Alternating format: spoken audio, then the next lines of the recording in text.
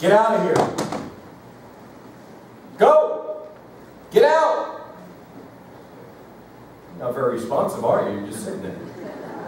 For which I'm glad, actually. But that's the title of the message. Get out of here. That's what Jesus said to us. He said, get out of here. He said it in Matthew chapter 28, verses 16 through 20.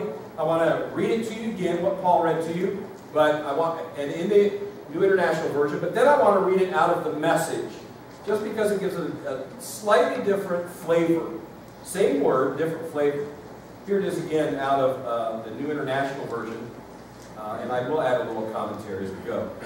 Then the 11 disciples, weren't there 12? So when does this take place? This takes place after the resurrection of Jesus, before Matthias is added in replacement of Judas. Okay? So there's the time frame. The 11 disciples, Peter, John, James, Andrew, Philip, Thomas, Bartholomew, Matthew, James, son of Alphaeus, Simon the Zealot, and Judas, son of James, went to Galilee. That's where most of them were from, not all of them, but most of them. To the mountain where Jesus had told them to go. Remember after Jesus is raised from the dead, says, tell the disciples I'll meet them at a certain place. So that's where they're going. When they saw Jesus, they worshiped him, but not all of them. Some of them doubted. Wait a minute. Jesus had been raised from the dead. We went through that whole thing with Thomas where he didn't believe the other ten disciples until he saw Jesus, then he believed. So they know he's risen. They know he's alive. So how can the Bible possibly say they saw him and they worshiped him, but some doubted? Just like nearly every other time, those core disciples are not the only ones there. So we certainly can have an understanding that there are other people there, other followers of Jesus, others who have not yet seen him resurrected. So some were going along with them because they heard that they were going to meet Jesus, but some of them doubted that Jesus would really be there, and when they saw him, doubted that that was really him, just like the disciples on the road to Emmaus. Didn't recognize him, didn't get it at first. Then Jesus came to them, came right up to them, and he said, his words, All authority in heaven and on earth, that's a huge statement, by the way, has been given to me. Therefore, because of that, go and make disciples of all nations. All nations. Baptizing them in the name of the Father, the Son, and the Holy Spirit. And teach them to obey everything I've commanded you. Guys, I'm going to be with you always. Always. Never going to I'm going to be with you always to the very end of the age. Here it is out of the message, same text. Meanwhile, the eleven disciples were on their way to Galilee, headed for the mountain Jesus had set for their reunion. The moment they saw him, they worshipped him. Some, though, held back, not sure about worship, about risking themselves totally. Jesus, undeterred, went right ahead and gave his charge. God authorized and commanded me to commission you. Go out and train everyone you meet, far and near, in this way of life, marking them by baptism in the threefold name, Father, Son, and Holy Spirit. Then instruct them in the practice of all I have commanded you. I'll be with you as you do this day after day after day, right up to the very end of the. Jesus said all authority. What is authority? What is that? let me give you a definition. Authority is the right to use power. That's what authority is. It is the right to use power. If you have authority over somebody, you have the right to use power over them. Or if you have somebody who is in authority over you, they have that right to use power. True or not true? Your boss has the authority, the power to hire you or fire you.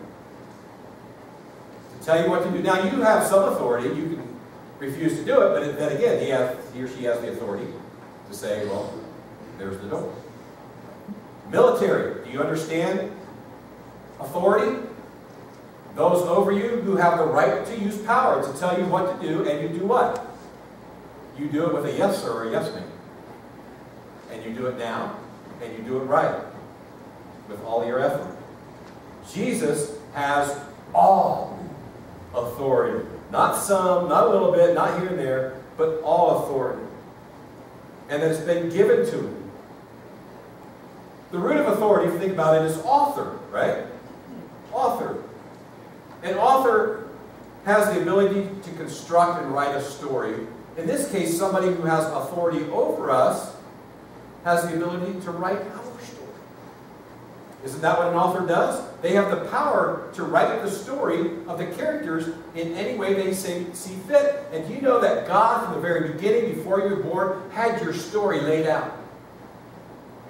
And do you know that you took the pen out of God's hand and you messed it up?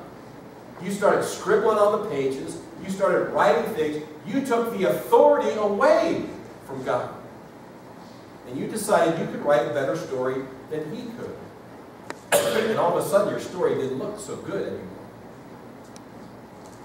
But we also have an option in that through what Jesus Christ did for us, you see, once we take the pen, God's not going to take it back. We made that choice. Except through what Jesus did on the cross, we are then allowed to give the pen back to God and allow Him to be the author again of our story. And it looks different than it did before, than it would have before if we never took the pen away. But unfortunately, we did take it away, each and every one of us. Jesus establishes his right and his ability to write our story, our life story. He has all authority. The entire Gospel of Matthew stresses the authority of Jesus Christ. When you read the Gospel of Matthew, look for how he shows the authority of Jesus. He does it more than any of the three other Gospel writers.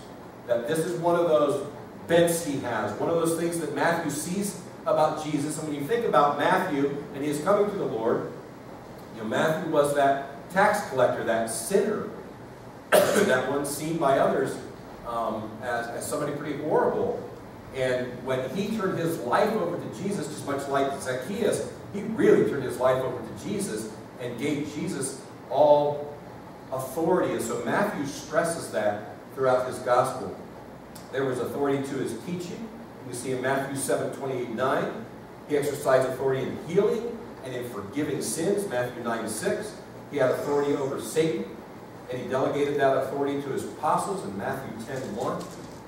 And at the close of his gospel, Matthew made it clear that Jesus has what? Just read it to you. All authority. Sherry, could you bring me that right beside you there? Thank you.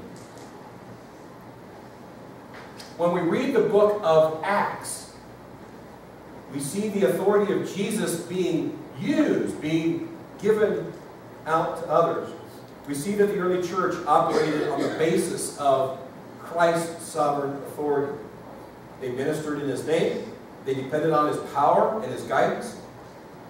They did not face a lost world on the basis of their own authority, but on the authority of Jesus Christ. Excuse me. That's it, I'm done. One little swallow. The Greek verb for authority translated, uh, or not for authority, I'm sorry, um, for this word about get out of here. You know, Jesus comes later and says, all authority, um, he says, go. He says, go. Get out of here. Um, and the word in the Greek really doesn't, it, it's not a command. In fact, the only command is to make disciples in the Great Commission. You know that? But go is not a command. It's as you are going. As you are going, do these things. In other words, Jesus never meant for us to go and plant ourselves in a local church and stay there. He didn't, he didn't say set up a church and stay there. That we're, we're not an organization, we're an organism. We're living cells of Christ's body. And so as we go, Based on his authority, we are to do these things to make disciples, to teach people, to baptize them. And we're to do it where? In all the world. How can we do it in all the world unless we're doing it as we're going? So Jesus is saying, get out of here. Don't stay here. Don't get stuck somewhere. Maybe it's not a physical location. Maybe it's a mental location. Maybe you say, I can't get past a cult cultural barrier. Maybe I can't minister to somebody who's a different skin color than me. Maybe I can't minister to somebody who has pierced nose and ears and lips and chin and spikes coming out of their head or whatever. Um, that, that people of a different culture, of a different language, I, I can't minister to them. Um, that's just beyond me. Are you kidding? Jesus said, All authority I have, therefore go. In other words, he's saying, My authority goes with you. Don't go on your own. Acts 11, 19, now those who had been scattered, right? Where the church gathered, but then we become the church scattered. Now those who had been scattered by the persecution in connection with Stephen, first martyr, traveled as traveled, traveled as far as Phoenicia, Cyprus, and Antioch, telling the message only to Jews. Wait a minute, even these people who were going stayed within their culture. Isn't that what I was just talking about? They stayed with their own people. They only preached to other Jews. Jesus never intended it to stay with just the Jews. Telling the message only to Jews. Some of them, however, ah, there's a remnant, there's a few. Men from Cyprus and Cyrene went to Antioch to begin to speak to the Greeks also, to the Gentiles, telling them the good news about the Lord Jesus. The Lord's hand was with them, and a great number of people believed and turned to the Lord. News of this reached the ears of the church at Jerusalem.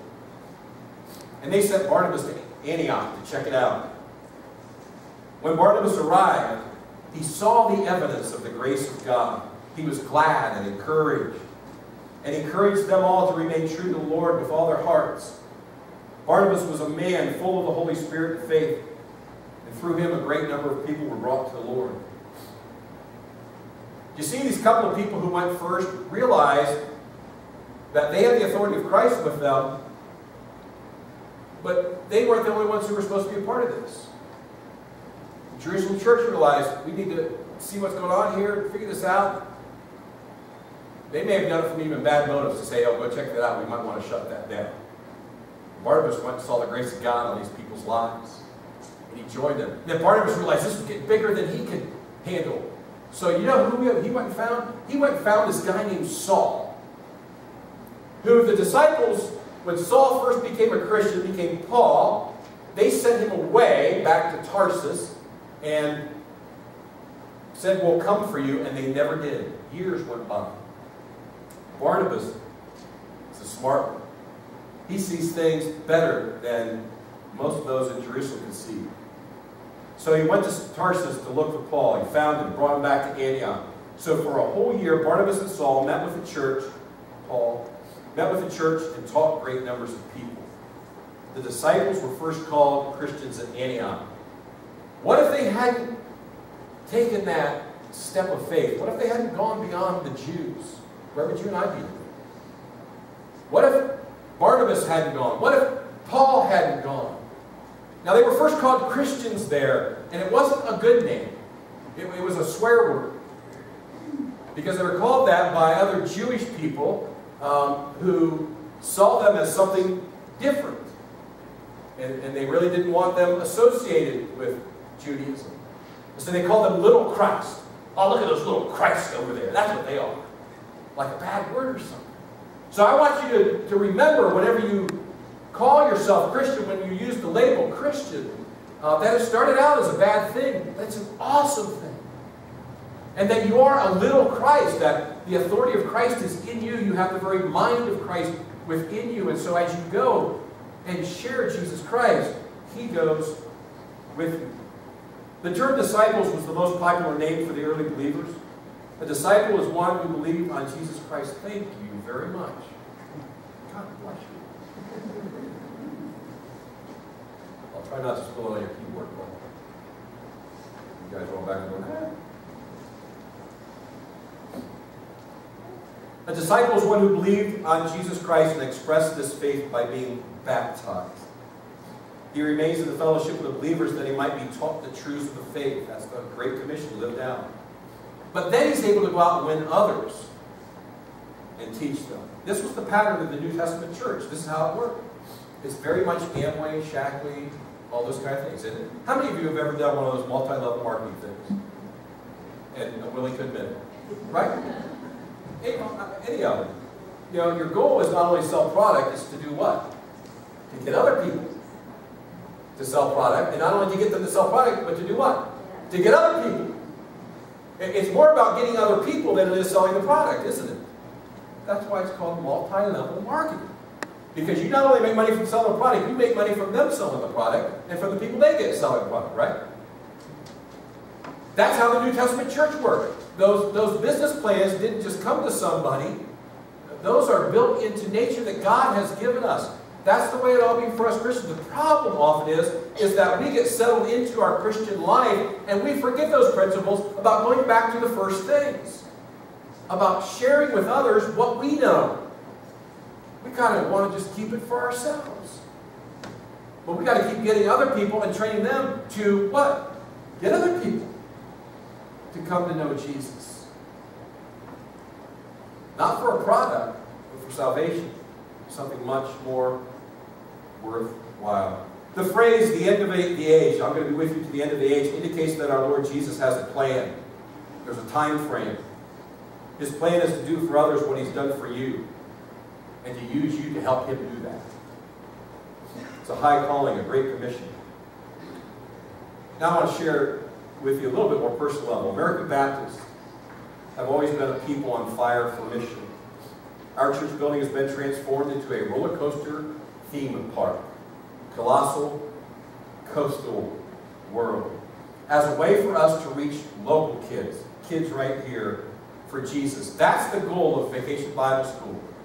Is, is to do the Great Commission, is to teach them, to train them, to bring them into a relationship with Jesus Christ. We're on mission right here, right in this place, and you are seeing some of the physical preparation for that. Friday night, Marcia and Eden and I, oh, no, you're over here. Marcia, Eden, and I, um, along with our local ABC uh, pastors and some of their lay people, uh, went and met with Kyle Williams. Kyle and Katrina Williams are some of our newest appointed American Baptist missionaries. Do you know that for a number of years we had a freeze on hiring any new missionaries from American Baptist Churches USA? For quite a few years we were not allowed to hire any new people because of finances. Because we, we just couldn't send anybody else out. There were people like Wendy who were retiring, and, and we couldn't fill their places. We couldn't go anywhere new. Now we have a goal uh, over the next several years of commissioning 15 new missionaries every year and sending them all throughout the world. That's international ministries. That's not even home missions. That's international ministries. Kyle and Katrina Williams are from Washington. They are in our region. There's about 35 regions of American Baptists across the country. We cover about a five-state area. Uh, and, and so they're from our region, and so we want to get to know them. We want to learn their heart. They're also going to the Dominican Republic of the Congo in Africa, not to the same mission place uh, that Wendy was, was at, not doing the same things. In fact, Kyle, one of the things he talked about I thought was interesting. one of the side things he wants to do is, is develop an alligator farm. And I understand we have one around here. Is that right? I didn't know. In fact, I didn't know anybody had an alligator farm. I didn't know you raised them like for food and stuff. Um, but it's a sustainable resource. Now they eat alligator where he's going but it's not a sustainable resource. And so one of the mission parts he wants to do is for these people. By the way, the Dominican Republic of the Congo is as big as the eastern half of the United States. So for the Mississippi East, it's about that size. And they have about 500 miles of roads in the entire area, entire country. Think about that, how difficult that is to get around. I mean, when we think about missions, this is the place. Um, they do have internet, we found out, so we'll be able to be in touch uh, with them. But uh, if you remember when we had that missionary last year, the way the, the missionary got around, showed us the, the video. He had that little backpack parachute thing. Remember that? Um, and that's, that's a way for them to get around because they don't have roads and so forth. They don't have sustainable ways of food, and so that's going to be part of their uh, mission. Anyway, Marcia and I got to meet with them, with our other ABC um, brothers and sisters in this area, uh, and that was exciting. And so we're going to be looking at, at giving some of our money specifically toward them instead of just in general toward ABC missions. And we'll have a relationship with them, and they'll come and they'll share every four years. They'll be back in the States, and they'll come. And they'll maybe plant themselves around here for a month and be a part of our ministry. So it's exciting. Some of our women went to the uh, ABW conference uh, up at camp, and uh, always mission-minded with that. Our youth are about to embark on a week-long mission trip across the country. Kim and I, right after that, will be attending our biennial. Again, it's called Mission Summit. It's put together by this new organization within American Baptist called the Mission Table. And we're going to be having mission conversations. You get to choose which ones you want to be a part of and the things you want to talk about. We're getting back to our roots. We're going back to those things that we did at first. We're becoming an Amway organization all over again. What we have to give away is free. We're not selling a product, but it costs Jesus everything.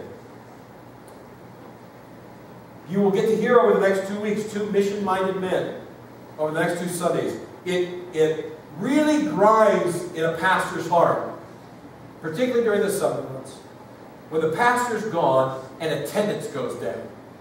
I don't know if you think I'm watching to see if you're here or not. I'm really not. So miss a Sunday that I'm here and be here when the guests are here. Would you do that? Um, because next Sunday is Clint Webb. This is an awesome pastor. I believe his church probably baptized more people over the last couple of years uh, than anybody else in the ABC of the Northwest. Uh, he just retired. He's living in Boise, uh, going to First Baptist Church there. So he's still he's fresh off the pastorate. Uh, he's ready to still preach. Going to preach on next Sunday on Father's Day. Uh, he is also in charge of the mentor pastor program, of which I'm one of the mentors uh, for our local ABC pastors. So he's kind of my mentor, my uh, trainer. Uh, and then Brooks Andrews, uh, whose, whose father served as a pastor at the Hunt relocation camp. Uh, his, his father had been pastor at the Japanese Baptist Church in Seattle. Since many members of his congregation were sent to the Hunt camp, he followed them. And Brooks grew up in Twin Falls during that time because that's where his parents lived. Went to Lincoln Elementary School. Or was it even elementary school then? What, what was it? More than that? Was just elementary? Um, and Brooks is currently serving as interim pastor at the Japanese Baptist Church. Uh, so he's going to be here the following Sunday. So you're going to hear great stories and, and great uh, preaching from these two guys, these mission-minded men. Uh, Clint, by the way, accepted his, his call to believe in Jesus Christ at Cathedral Pines Camp and his call to ministry at Cathedral Pines Camp. He pastored in Idaho before going to Oak Harbor Church. So I'm just excited about all that stuff. At the Mission Summit Kansas City, we'll celebrate three awesome mission uh, history experiences. The first one is, do you know what it is the 175th anniversary of this year? Jim? I, don't you hate that? If it's history, the guy's going to the history guy. Gotta be the Judsons. Say that on the next one. It is the 175th anniversary of the Emancipation Proclamation. Um, you say, well, that's not mission. What does that have to do with anything? Are you kidding? Do you know who many of the people were at the forefront of, of helping end slavery? The Baptists were. Let me tell you what happened. After that took place and the slaves were freed, what happened to the slaves? Do you think the people in the South were excited about letting their slaves go free? Not most of them, certainly not. That was their economy. Who took care of them? Who taught them? Who, who did the things for them that they needed to do to become free people in society? Many of the Baptists, the American Baptist people, went south to help teach and train and love on those slaves because we had worked so hard to see that come about. Do you know that in this country, and we're going to go back another 25 years in a moment, um, there were just Baptists, right? There was this group of people called Baptists. Originally they started independent. 25 years prior to this time, uh, they basically became a denomination wrapped around mission. But it's split in two, north and south, over what issue? Slavery. And you had Northern Baptists and Southern Baptists. Now, even though we went down and helped, we couldn't establish churches very well down there. So it wasn't until the 1950s, and then again a slight alteration in 1972, that Northern Baptists changed their name to what? American Baptist Churches USA. We were right. Southern Baptists didn't have as much trouble moving north, but that's, that's the history of where we've come from. And Northern and Southern have tried reconciling over the years, and we do ministries together, uh, but there's still a couple points that have not allowed us to become uh, one. But anyway, so 175th anniversary, we're going to celebrate that. Uh, that's really mission work of the American Baptist churches uh, in helping free the slaves and then helping take care of them uh, once that has happened. Then let's go back 25 years. It's going to be the 200th anniversary of what, Jim? Ann and Adoniram Judson sailing for where they eventually ended up, Rangoon, Burma. The very first foreign missionary from American soil to go overseas. Ann and Adoniram Judson. That is how we became a denomination. Because they went out as Congregationalists. When they first went to India, they knew they were going to meet a Baptist. They read the Bible. They said, oops, we believe the Baptists are right about this baptism thing. When they got there, they were baptized with believer's baptism instead of like Congregationalists with infant baptism. And so they considered themselves Baptists. So one of the partners, Luther Rice, came back to the Americas, went to the independent Baptist church and said, look, put some money together. The missionary's already on the field. And that's how we became a denomination, because of foreign missions. We're going to celebrate that. And then we're going to go back even farther. It is the 375th anniversary of the founding of the first Baptist church on American soil. Anybody know where it is? Providence, Rhode Island. Providence, Rhode Island, founded by a guy named Roger Williams, who was kicked out of the Massachusetts Bay Colony in the winter, was befriended by the Indians, who landed at this place and got an edict from the King of England. Okay, this is long before we're a country. Got an edict from the King of England that anybody, now this is the heart and soul of Baptists, this whole mission thing, and that whole culture thing I talked about. I just got, boy, I wish we had a whole lot more time. Um, that, that, that he got an edict from the King of England saying that anybody could go to Providence, Rhode Island, and it was named Providence for this reason, without fear of religious persecution. So if you're a Muslim, if you're a Buddhist, if you're anything else, you could go there without fear of religious persecution. Why? Because Roger Williams had faced religious persecution at the Massachusetts Bay Colony from other Christians. He said, that's not right. People should be able to believe what they want to believe. He says, I want everybody to believe what I believe in Jesus Christ. In fact, so much so that I want a place where people can come freely and not feel that they're going to be persecuted. How many churches are so against other people? You think they're ever going to reach them for Jesus? No! He says, let me make a place where people who don't know Jesus can come. What an idea. What an awesome idea. Let me bring in the other cultures, the other religions, so that I can share my faith with them. Not in a, in a persecuting way, but in a loving way, the same way my Jesus loved me. Do you realize what ministry will be extended because three adults and five youth in your church are going on the most needed mission field in the United States, Ohio? oh, Did you hear Kim? She said that would be Michigan. Um,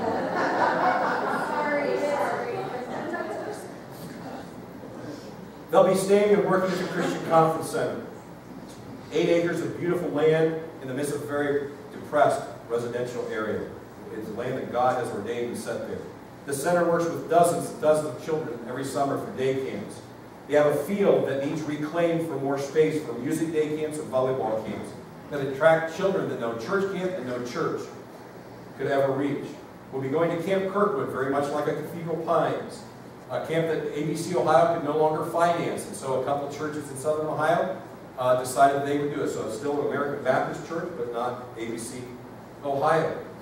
Um, and this camp reaches hundreds of kids during the summer, and they need laborers to do some work to uh, make their efforts go farther. We'll be on mission, I've said already, at this West Side free store that provides clothing, food, friendship to those in the greatest need.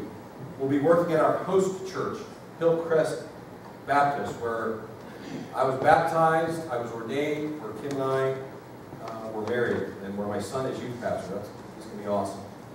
Uh, which this church has also been a blessing to the kingdom of God, that in a 21 year period, 20 people went into full-time Christian service. I mean, I mean, the things that that church has done and for the kingdom of God is, is awesome. I was one of those 20. They ministered to people in the same depressed, poverty-stricken area. We'll get our hands dirty working in a community garden that helps people provide for themselves. We'll provide free laundry and conversation for people who can't afford the luxury of a washing machine or dryer in their own home. Our church is on mission. If we can stand on the promises of the faith book and serve under the authority given to us by Jesus Christ and accomplish all of this in two weeks. I mean, everything that's, that I've just mentioned, from, from Wendy standing here, the women being up there, uh, the mission summit, going on the mission trip, vacation Bibles, if we can do this in two weeks and be this much on mission for Jesus, how much can we do in the next two years? It excites me to be a part of First B, to be a part of this church that believes in getting out of here, in not just staying stagnant and thinking that this is for us. This isn't for us, Jesus is for us. This is for other people. You don't come here just to get your uh, ears tickled a little bit and feel good when you go away. You come here to get trained, to get filled up, so that you can get out of here. That's why we come to church. You know, we always quote that verse, wherever two or three people gather, there I am in the midst of them. Do you think that that's all Jesus is about? No. When the church scatters, he goes with us even more. If we're out there by ourselves, he's with us even more. The moment they saw him, they worshiped. Some, though, held back, not sure about worship, about risking themselves totally. If you are on mission with us, praise God. If you are not, and you are simply warming a pew, we love you. And we are glad that you are here, but keep your hands and your feet inside the coaster because we are in for the ride of our lives. Jesus said, all authority in heaven and on earth. I got to make this last point. All authority in heaven and on earth. What do you mean? Isn't Satan the authority here? Do you remember when Jesus was tempted by the devil in the wilderness? What took place? One of those was that he was taken to a very high mountain where he could see all the nations of the world. He could see far and wide. And Satan basically said, look, this is mine. This is my territory. I took, God created it, but I took it over. God kicked me out of heaven. I took it over. It's mine. Hey, Jesus, but I'll give it back to you if you'll do what? Bow down and worship me. And Jesus said what? He said to Satan what he says to us. Get out of here! But he meant it differently to Satan than he does to us. That you have no place here. In fact, you will see that I have all authority in heaven and on earth. And you'll see it through my blood and through the moving of a huge stone over a tomb. And when it's moved, I won't be there. Because I will be risen and I will have all authority. So as you go, make disciples of all nations, baptize them in the name of the Father, the Son, and the Holy Spirit. Teach them to obey everything I have commanded you, and I am with you always to the very end of the age.